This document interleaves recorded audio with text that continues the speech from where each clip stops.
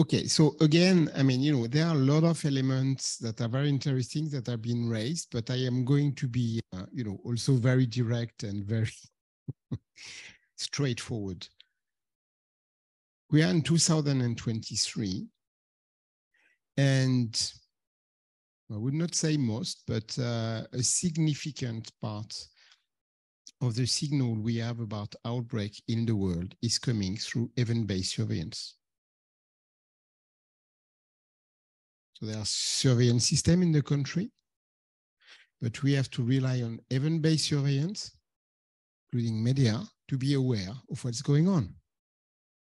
This is a reality, not always, but for new outbreak, after when the outbreak has been declared by the country, things are improving. But so this needs to be changed. Again, the the the, the thing I want to to uh, to deconstruct.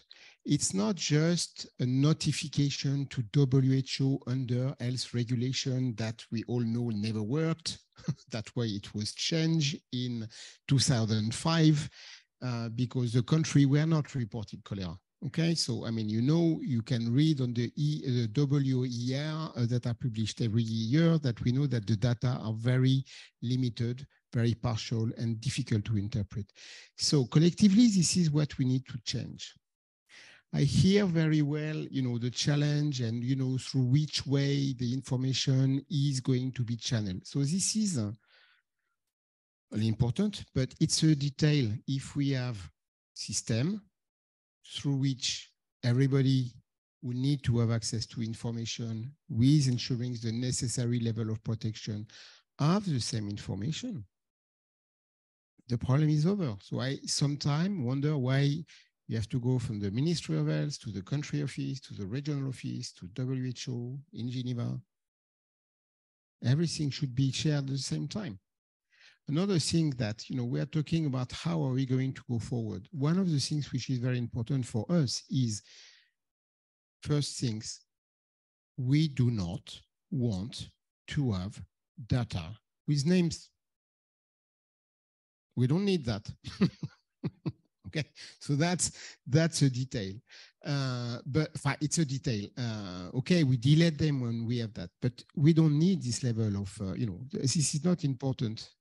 Uh, the level of, you know, confidentiality, I mean, you know, we don't need to have the address, you know, I mean, sometimes a GPS point would be more important, but so the, uh, so the thing is, there will be some guidance of you know what uh, and this is under development about you know what is the minimum requirement how the the uh, the surveillance the data which type of data should be could be shared.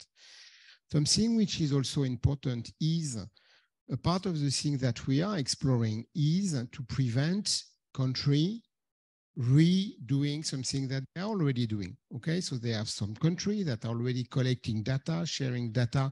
So this is why we need also to have a little bit of uh, technology to be able to do this plug and play. You know, so uh, how to import data, for example, for country who are willing to share data from DHIS2 or from other system. So for that, there is a need to have a platform. So all these things are in progress uh, again, uh, I'm not going to uh, to uh, to tell you that you know it's it's going to be solved by the click of the finger because we need to have resources and sustainable resources to develop that, to maintain.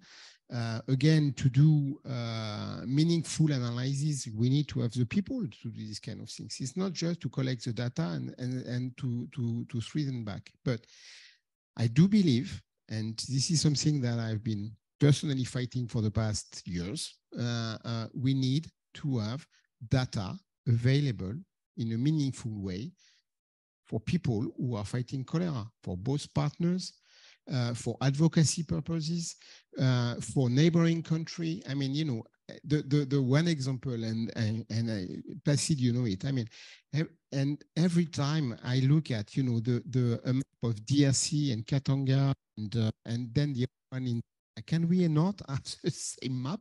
So now, thanks to the work that is done by the team, we can have a, a, a global, not a global, um, a focused We have had some other discussion this week. With, we need to change also. It's not just about geographical uh, uh, approach, but you know, uh, also having a community approach. You know, with cross-border people, nomadic people that are from one side to the other side of the border. So this information is important. We have uh, currently, and uh, uh, Dr. Kungu know it, you know, outbreak between Ethiopia, Somalia, and Kenya. I mean, they have to be addressed at the same way and not in a piecemeal approach with, uh, you know, uh, uh, let's do a little bit of vaccination here and here and here. So we are talking about this kind of thing. So again, it's information for action. It's not information just for the sake of having information and having a glossy SITREP.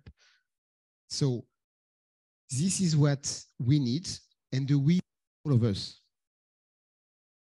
So it will take time the thing which is also important, we are totally aware that not all the countries are in the same situation. Some countries have already that their, their, their system.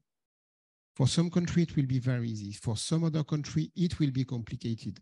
Uh, it was mentioned, uh, uh, you know, on the survey, there are still some countries that are relying on paper-based uh, data. Okay, so this will take a little bit more time. This, uh, uh, the data are not comparable with one country to another one so far. So Rome was not built on one day. it will take time, but any step we make toward the right direction is bringing all of us closer to the elimination, which is a goal that we are all uh, we are all looking at. So the road is going to continue being bumpy, but that uh, it has been bumpy before and it will continue. But this is not a challenge. So let's try to think out of the box, respecting the necessary confidentiality, etc., etc. Et but there is no reason, absolutely no reason that for hundreds of diseases that are collected, shared on a weekly basis, on a daily basis. Uh, COVID was an example, yellow fever, meningitis, influenza, God knows what, you know, with, with uh, uh, and for cholera, we can't. Of course we can. So let's do it. It will be progressive. And that's fine. Some country will have some information, and in one year or two years, they will have the rest of the information. What we need to, to demonstrate is progress. So bear with us, stay with us, share information. And, and sharing information is not, you know, the, the more we have the information, it's not to hide. We are in a world where it's gone you know the uh, you know the, the i work in epidemic intelligence for a long time. People have to stop thinking that they will hide information for a while. No it's just a matter of days but somebody will find out. So information is for action is no longer power. The time where people could think that you know because they have the information they could you know do things this is gone. So this is really an opportunity we will discuss tomorrow uh, uh, about the surveillance, but also the lab, how to improve the the the, uh, the validity of the information, etc., etc. But this is an important step. So, uh, but that can only be successful if it's a collective effort. So I'll stop there. I know it has been a long day, and uh, and there will be more discussion tomorrow. But I think it's really important for everybody to go back home. It's, what can we share? Thank you in advance.